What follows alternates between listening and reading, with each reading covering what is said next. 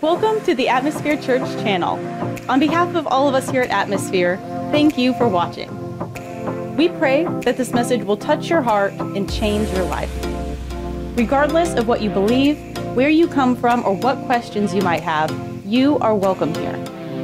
Our desire is to help lead you in experiencing God by following Jesus. If you want to find out more information about us, head over to our website at atmosphere.church. And don't forget to click below to subscribe. Enjoy the message.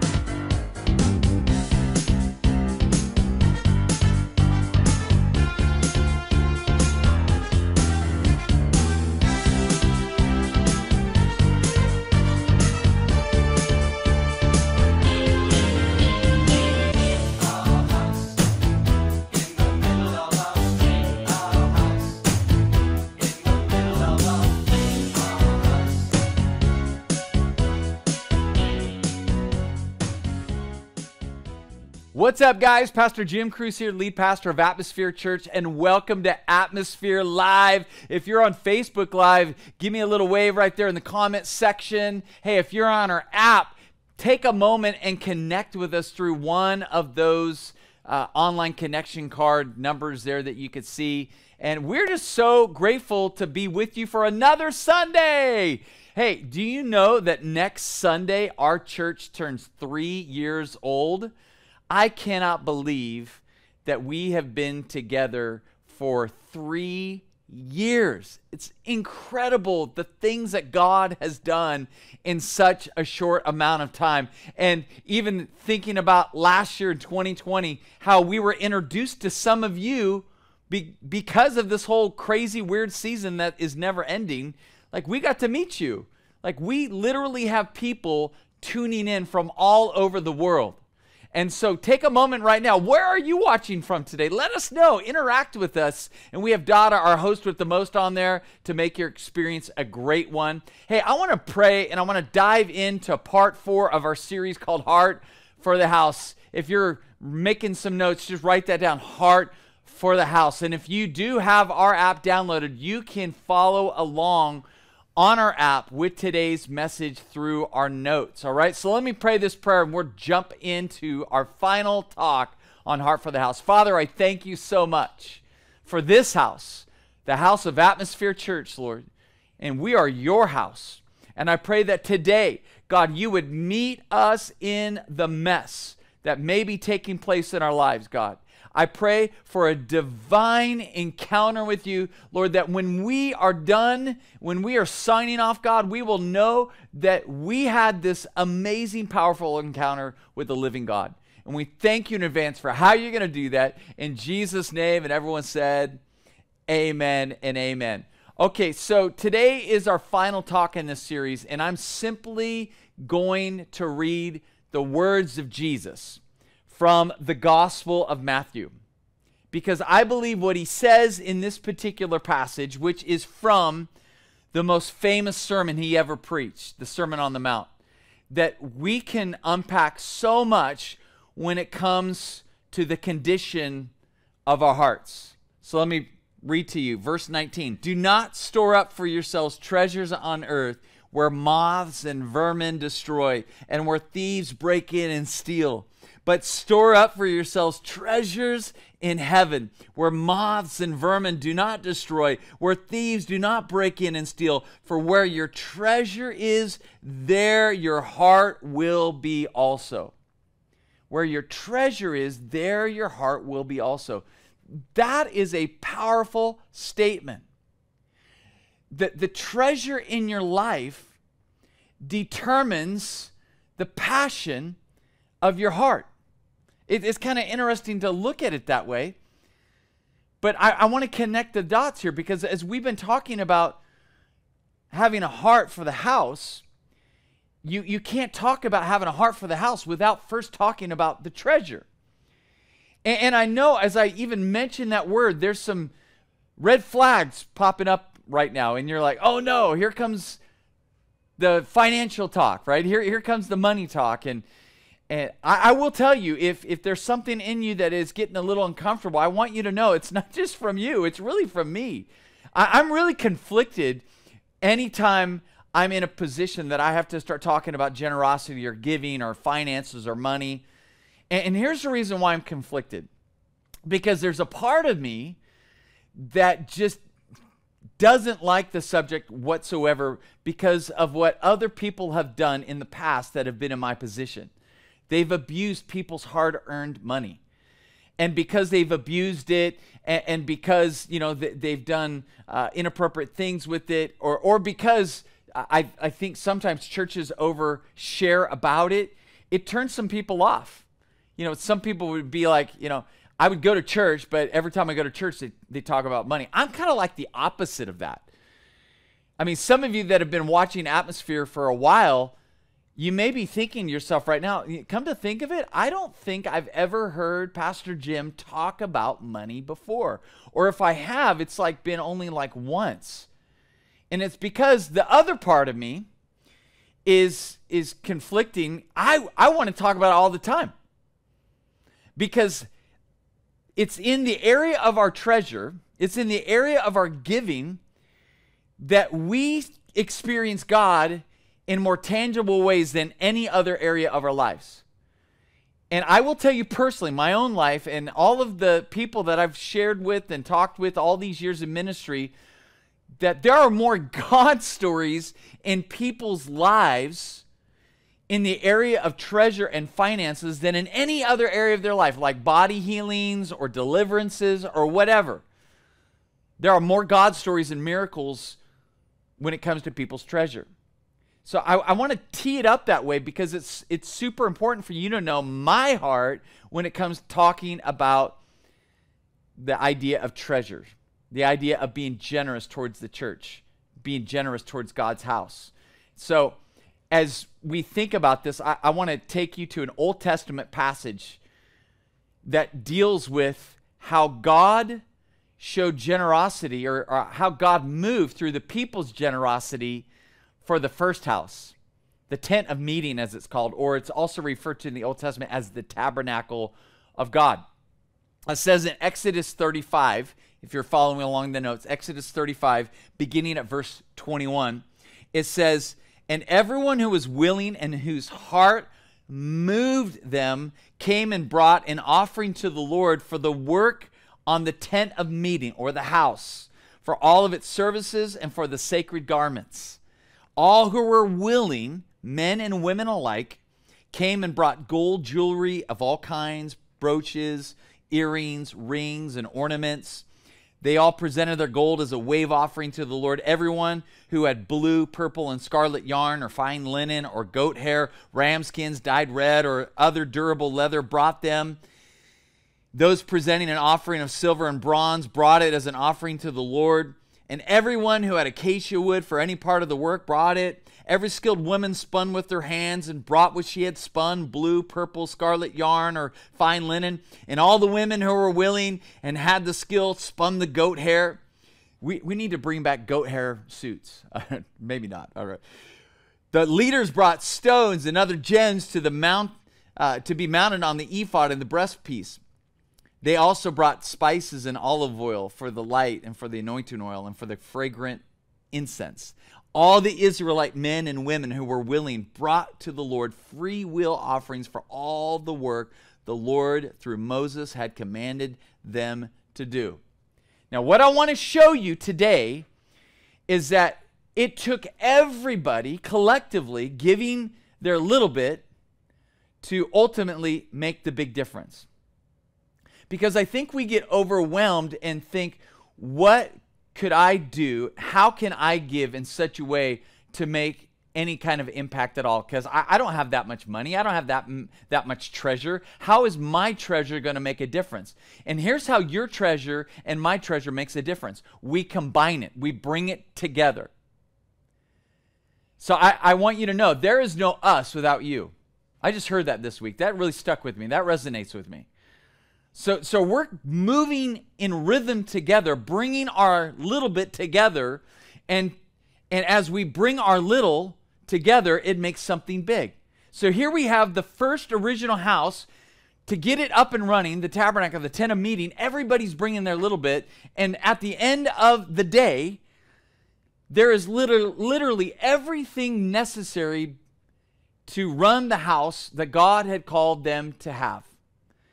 And, I want you to know that God has given us a vision of things that He wants us to do, of, of ways that He wants to move. And in order for us to accomplish the things He wants us to do and to move the way He wants us to move, it's going to take your little bit and my little bit together, moving together to make a big difference for God's kingdom. So, in, in a way, this is what we're doing, um, and, and, we want to show this in a tangible way with our plus one uh, challenge that we're doing. And some of you, you're like, how am I going to do this? Like, because because the challenge is we want everyone to bring a dollar bill, and and we're going to take our dollar bills together. And we're going to do a random act of love, a no strings attached act of love to a hurting person or family in this area. And, and so you guys can uh, participate virtually probably the best way is uh, Venmo, to be honest, and, and there's no fees or whatever that, that are taken out that way. So you could just give a buck and we'll know exactly what that's for. So you can be a part of our plus one challenge where we're going to bless somebody with a random act of love, no strings attached love here in the Conejo Valley. So with that experiment in mind, I just want to show you guys in a tangible way how your one dollar can actually be used to make a big difference for somebody else. It could pay a power bill once we take all of our dollars collectively together and we could do this. Now, in that frame of mind, I want you to just have another tangible example of what can be done when we actually all come together. So I'm going to go back in a time portal here and I'm going to pull up circa 2010. I was leading a church in Las Vegas. We had outgrown the facility that we were in. We were kind of having to move, but we didn't know exactly how this was going to be accomplished because, I mean, you can't just you know find churches you know on LoopNet or Zillow.com you know for sale or for lease. So a lot of times churches like we were uh, had to go out and create the church from another kind of used space, and so we had been praying and believing for the shoe store building that was like in the epicenter of Las Vegas. And we had been praying for it and believing for it. And finally, they had contacted us when our lease was about ready to expire in the facility that we were at and we had outgrown it that we had no more parking we were already doing three or four gatherings. It was crazy what god was doing. So we had to find a new location. They called us and said we want you guys. Our building has been vandalized. It's dilapidated. Nobody's been in it. And we had known nobody was in it but they just weren't ready to say yes to us and we weren't ready to actually move. But the moment came and all of the planets were in alignment. God opened doors no man can shut. And then we got the building for nothing. The only condition was that we would fix it up and it would be on our dime. And I was like, wow, how are we going to do this? You know, we had, I don't know, probably 1,500 people attending our church at the time. And so I was like, okay, like, how do you take a dilapidated shoe store building and make something beautiful out of it? And here's how it happened everybody brought their little bit. They all brought a little bit of their treasure, and collectively together, all of the treasure that was brought in allowed us to convert this dilapidated shoe store building into a beautiful sanctuary for God. And they are still meeting there to this day. And I have a great relationship still with our Vegas church. Some of you are living in Vegas and you've seen it, you've been in that building. And I tell you, you, you can't have a building like that without everybody coming together and giving their little bit. Even Tara and I personally, when we made this journey and we knew that God was calling us into this building, we had this dream in our heart that we wouldn't just have a sanctuary for our worship, that we would have a place for our young adults to gather and, and have concerts and, and, and be able to meet on the weekend and hang out and do karaoke nights and just, you know, great coffee. And so I actually had a truck that I was so proud of, a Tundra that I had paid off. First car I'd ever paid off in my entire life, and I was so excited. Normally, I'd get rid of the car before I pay it off and get another car, but this one I paid it off. I was so proud of this truck. I, I mean, I love this truck. Called it Darth Vader. It was a black Toyota Tundra, but the Spirit of God moved on my heart and said, "Are, are you willing to sacrifice in order for the vision to become a reality?" And so I got my wife praying about it, and we made the decision that we were going to sell the truck, and the money that we got from selling the truck, we were going to then pour it back in so that we could finish the cafe for this dilapidated shoe store building that we had. I have some pictures just to show you the transformation so you can kind of visualize it if you haven't been to Vegas, you haven't been in our, our, church there on Sahara Avenue. But if you were to draw a map of the city of Las Vegas and put your finger right in the middle of the map, you would put it on top of the address where our building is at. Like that was a strategic location that God had chosen for us to build his house so that we could have a maximized reach. And that church right now is reaching so many people where other churches are building and in like the upper middle class neighborhoods. Our church is down in the hood.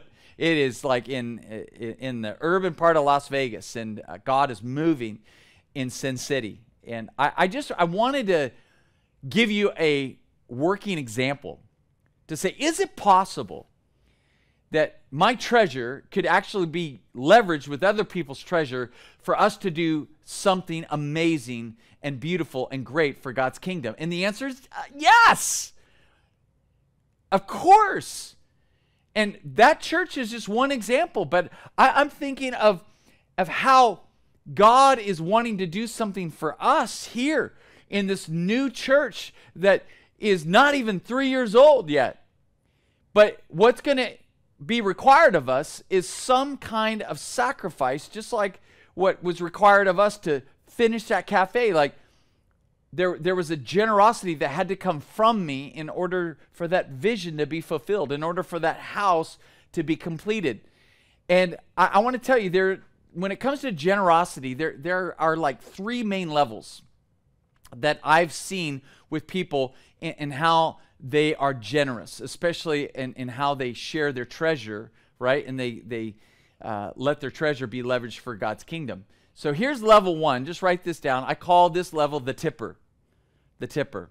Now, this is somebody who acknowledges the fact that they're being inspired and encouraged and built up in their faith uh, from gatherings like this.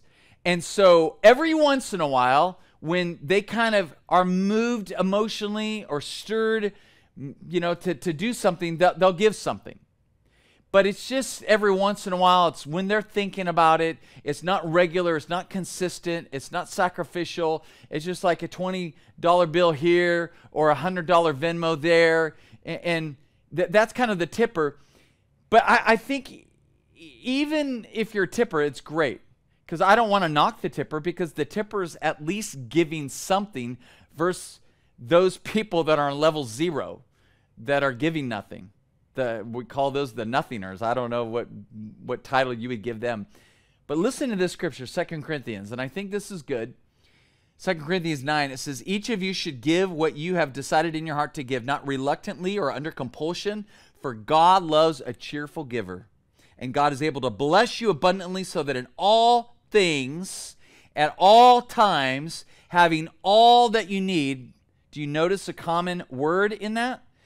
Let me say it again. So that in all things at all times, having all that you need. Type it out the word all. Just say all. You will abound in every good work.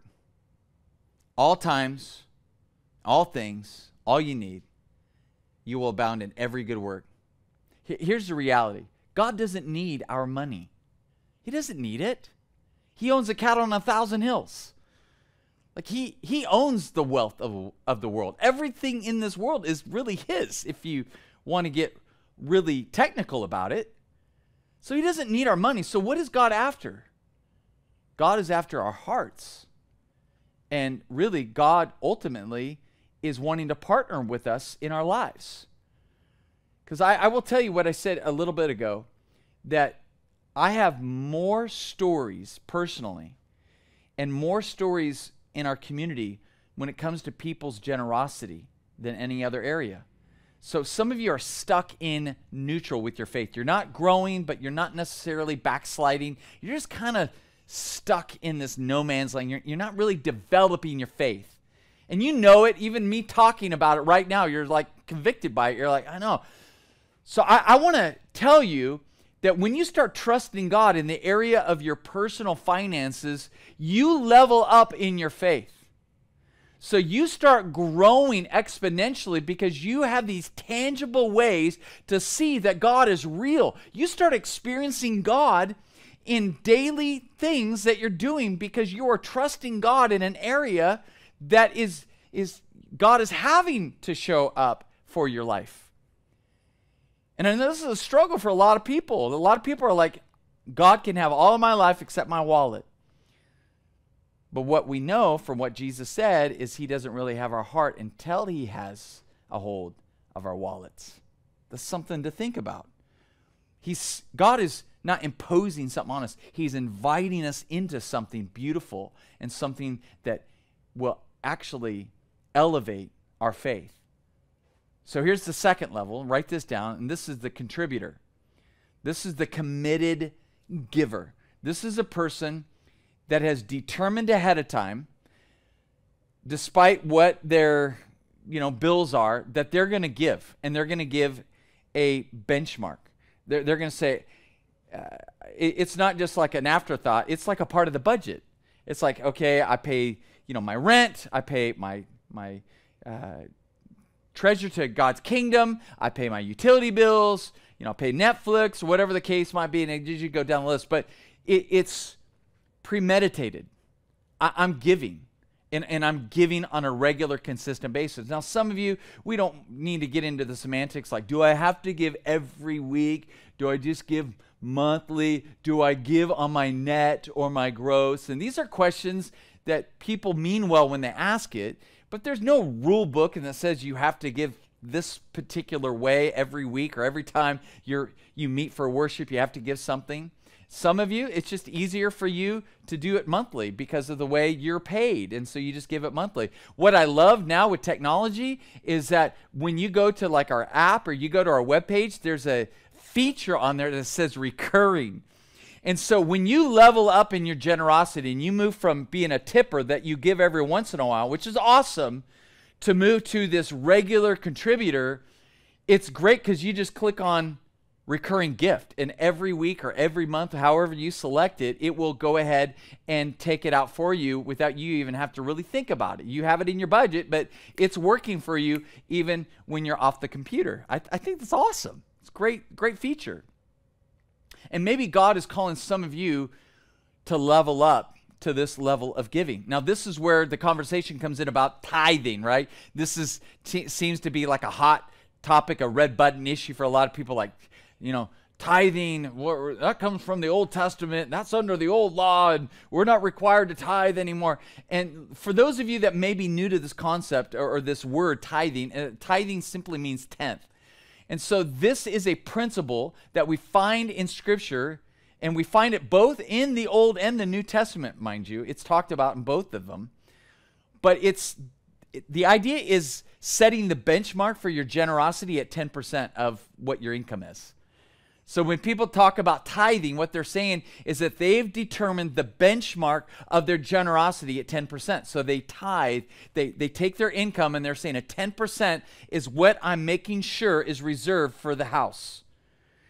And it's so beautiful because in Scripture there's a promise attached to this principle of giving a tenth of what you bring in and in, uh, it's found in Malachi chapter 3, verse 10. It says, Bring the whole tithe into the storehouse, so that there may be food in my house, and test me now in this, says the Lord of hosts. If I will not open for you the windows of heaven and pour out for you a blessing until it overflows, then I will rebuke the devourer for you, so that it will not destroy the fruits of the ground, nor will your vine in the field cast his grapes, says the Lord of hosts. All the nations will call you blessed, for you shall be a delightful land, says the Lord of hosts. Now, this is a promise for Israel specifically, but the principle of blessing is covered with this principally.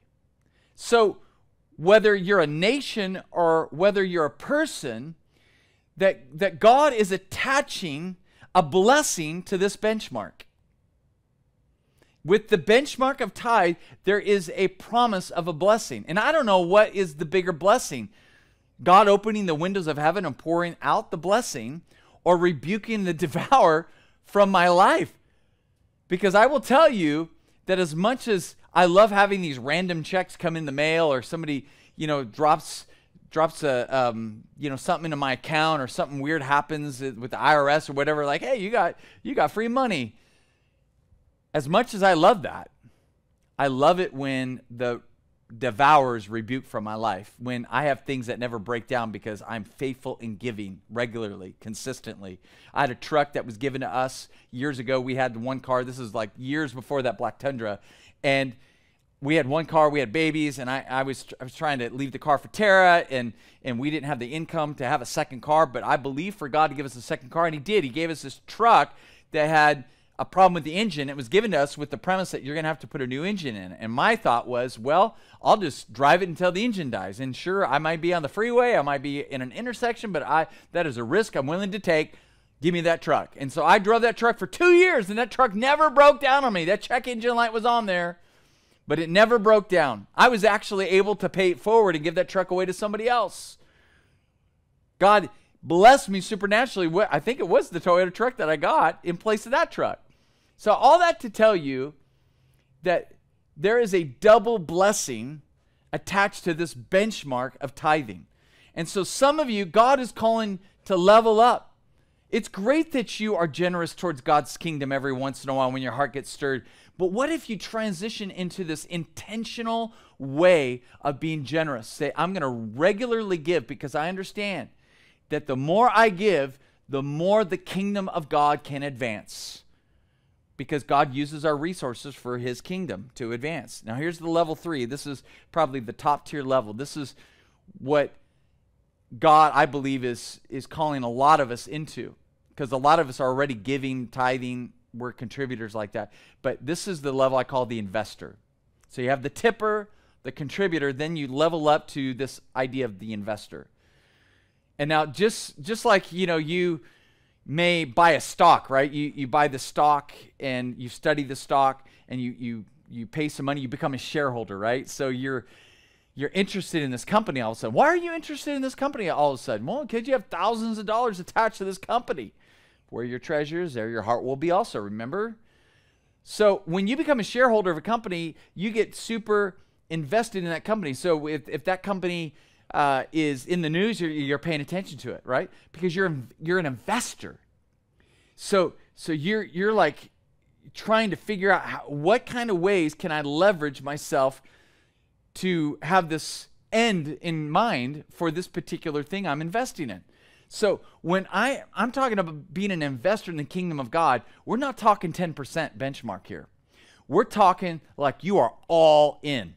Like you you are looking for opportunities all the time to be more generous than just giving 10%. That you're, you're looking at your finances completely different. Instead of just saying, hey, you know, 10%, you're saying, everything I have belongs to God. And if God needs it, if God wants it, I will give it. Because I know that when I'm doing this, I'm investing into something that is beyond this earth. And that a lot of people don't they have a hard time. They wrestle around with this. That that there is actually a retirement account waiting for us in heaven. In everything we do, how we live our lives, how we leverage our treasure, everything we do matters for eternity. So why wouldn't you want to invest in the kingdom of God? What do you think that the return on investment is for the kingdom of God? Think about that for a second that you have this retirement plan waiting for you in heaven for everything that you do for God's kingdom on earth. But besides that, think about people. Because when you're investing in the kingdom of God, you're actually investing in people. That God values every human being. Every time I see somebody, instead of getting mad at them, especially if I'm on the 101 freeway, I love to pray over them and say, God, I pray blessing over them, that, that you love them and you died for them and they have unsurpassable worth. I, I declare that. I decree and declare that over people because as I declare that, my heart changes towards them. And, and you have to know, as being generous towards God's kingdom, the biggest investment that you can invest in is other people's lives. And so when you are giving to the house, you are actually giving to help change people's lives. Because that's what we're doing as a church. Nobody's getting rich from what we're doing by everyone giving their little bit. Pretty much, when you give to Atmosphere Church, you're giving through Atmosphere Church to change lives, to see people healed, and to see families restored. That's the way we like to say it. And it's important for you to know that what you give is an investment. And so when you get to the status of, oh, I'm an investor, then it's a different ballgame. You see everything from a different lens. You see people from a different lens. You see everything uh, being brought into your life differently through a different lens. Now you start looking, I've been blessed so that I might, I might become a blessing. I'm blessed so that I might become a blessing to somebody else. Now, as I'm thinking about people that have invested in Atmosphere Church, and some of you that I'm talking to right now, you've you've given irregularly. Maybe you've given here or there, or maybe some of you are tithers, you're faithful givers. Um, and, and, whether it's the benchmark's 10% or 1%, we're, we're truly grateful for your uh, consistent uh, generosity. But then others of you are investing on top of that. And, and I just want to speak to you like, I want you to know when you when you are giving to Atmosphere Church, I, you are part of this. That since we have been together, we have seen over 300 people make first time decisions to follow Jesus. Over 300. There are some churches that have been meeting for 30 years, not three years, and they haven't even seen 10 people make first time decisions to receive Christ and to follow Christ. We've seen 300. We have then watched over a 100 of them make next step decisions and follow it up by the outward expression of water baptism. I, I, am doing another one here next weekend here at the ocean. And I know that, that more breakthrough and, and more uh, lives are going to be changed, and, and hope is, is, going to be born uh, from the baptisms. That we've been able to start local ministries here and serving ministries. We're doing serve days twice a year. We, we have prayed over people in the middle of a serve day where they've given their lives to Christ. We've got to pray over them in, in, a, in a hurt in their life. We, we've seen miracles. We, we've seen uh, our young people who've been especially hit in COVID, we have seen them just grow exponentially in their faith. We've seen them be able to connect with each other. We even have couples getting engaged to get married that they've met in our church. Like God is using Atmosphere Church in powerful ways. And when you give, you when you financially give your treasure to the house of atmosphere, I want you to know you are making a difference. Whether you give a dollar or you give a million dollars, you are making a difference. So I want you to know that. Uh, we do global ministry, not just local ministry. We do global ministry. That that when you give, you're actually helping us bless our pastors in Lusaka, Zambia, Africa. Uh, Pastor Ernest and Laika, they are good friends of ours. We've partnered with our Vegas church to continue to partner with our schools in Zambia, and God has grown this church and their school of 80 kids to now they have over 500 kids that have actually went through all of the schooling, graduated, and are now back teaching at the very same school that helped them. And schools in Africa, you don't get to go for free like you do in America. You have to pay for it. So we are sponsoring all these kids to give them a hand up out of poverty by educating them and discipling them and feeding them. I mean, some good stuff is happening. And about two months ago, we gave a an extremely generous gift. We just took a Sunday offering. We just said we're going to send it all to Africa, and we did, and we made a difference. And to show you what kind of difference we made, I want you to listen to Pastor Ernest give Atmosphere Church a shout out. Go ahead and check this out. Hello, Pastor Jim. Hello, Atmosphere Church. This is Ernest Study, the pastor for Streams of Living Waters Church and Ministries in Zambia. I want to thank you so much for your financial support that you've been uh, giving to our schools in Zambia and also the church. The part of the money you sent recently, we have we have we have made um, bathrooms, as you can see on the picture there. We have also painted the school. We are going to rehabilitate desks which have been destroyed.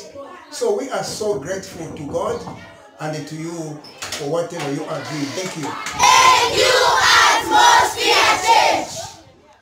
Church. Listen to me. You just saw that video. When you are generous to this house, you are giving through this house to change lives all the way in Zambia, Africa. Doesn't that just blow your mind? Like what we can do, what we can accomplish together when we're giving like this together. It's a wise investment. So, why do I bring all of this up for Heart for the House? Well, number one, I want you to be blessed. Some of you have been struggling with finances for years, for decades. And what do I need to do to break through to you that God wants to partner with you and show you that He can be trusted, not just with your finances, but every area of your life. But when He starts breaking through for your finances, it gives you tangible faith to spill over into other areas of your life. Some of you, I'm telling you, your financial struggle is going to cease from existing when you start trusting God with your treasure. It's going to stop. But that's why I'm telling you. But I'm also telling you this because I know God has given us a big vision for what He wants to do in this big valley. He wants to do some big things. And in order for these big things to happen, it's going to take our little bit. And our little bit put together, we are going to be able to accomplish these big things that God has called us to do. I want to tell you, I love preaching to you. I love speaking to you. I'm in the studio right now. It's great. But I, I want us to be together. I want our in person to be with our online uh, family. And how we're going to do that, it's going to probably cost us about $10,000 of new equipment so that we're going to be able to stream live in the ballroom or in the amphitheater, you know, when we're meeting uh, with the rest of like I, I'm privately in the studio because of the limitations that we have with the equipment and the personnel that we have to run the equipment. So some of you, I, I mean, together, like you don't have 10 grand. I don't have 10 grand, but maybe on, on top of the gift of the the tithe that you say I, am gonna for the next three months I, am gonna give an extra hundred dollars so that we can get to that goal so that we can buy that equipment and and we could actually come together and the in-person can be with our online. We could all be together and, and it's it's gonna be beautiful. But maybe some of you are like i can i can just venmo 10 grand to you right now. Like that's i've been i've been praying about this. Well maybe that's great. And I believe some of you have the gift of giving. Some of you, you, you, have a next level generosity spirit. And I believe that's supernatural. That, that when, when God basically was scooping out spiritual gifts, He gave you an extra scoop of generosity. So it comes easy and it's very life giving for you to give. And I'm saying, don't let me stand in the way of you using your spiritual gift. Be that generous giver that God has called you to be. So it could be one person you are right now watching and God is putting it on your heart, like, I, I want to complete that vision. I'm going to buy that equipment. But it's beyond the equipment. Like, I know you guys aren't in person, but, but we're, we're kind of like a church without a home. We're, we're kind of like a homeless church. Now, we meet at the golfers and we're super blessed by that. And, but, but we also know that our stability, in a lot of different ways, especially with the kids, depends on us having a house. And so we don't have a building in mind right now. We don't have a place in mind.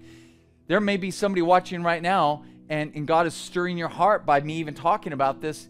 And maybe you own property around here. Maybe you own property, and you're like, I, I, I want to make sure the atmosphere has a place that they can start raising up. Like we want to be able to do that coffee house concert venue. We want to be able to do that here just like we did in Vegas. The pictures that we saw, we, we want a building here that, that we can take a building and make it a community center. So maybe somebody's going to give us a building.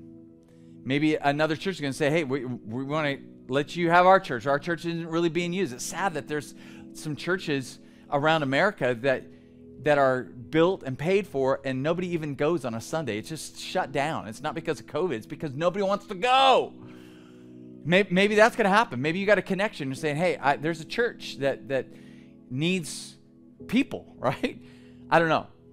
But there's a lot more that we want to do. And so we are kicking off a three month campaign today called the Opportunity Fund. We started this pre COVID but COVID kind of iced things for a minute, and, and now we're ramping it back up. And we have a goal in mind to be able to raise $500,000 so that when the opportunity comes up for us to move into a house that we will have the finances to be able to get in there. We don't believe that God wants us in debt. And we we know that just like, you know, when Tara and I had our first house, right? We had to have some help. You know, Tara's parents helped us, my parents helped us. Most of you that that have had multiple houses, you know that the first house that was the hardest to get was your first one, right? Or the house that was hardest to get was your first one. And typically it takes like, you know, a parent, a grandparent, that rich uncle, right? Somebody gets in there and helps you. And I really believe like our first house, it's going to require a parent, a grandparent, a rich uncle, somebody out there. And you're like, I, I believe that God is calling me to be that parent, that grandparent, that rich uncle. Like maybe God has blessed me for this moment so that I can help Atmosphere Church get into their first house. I don't know, but if if God is stirring your heart, you'll know it. But maybe it's not that. Maybe it's not some big extravagant one-time gift.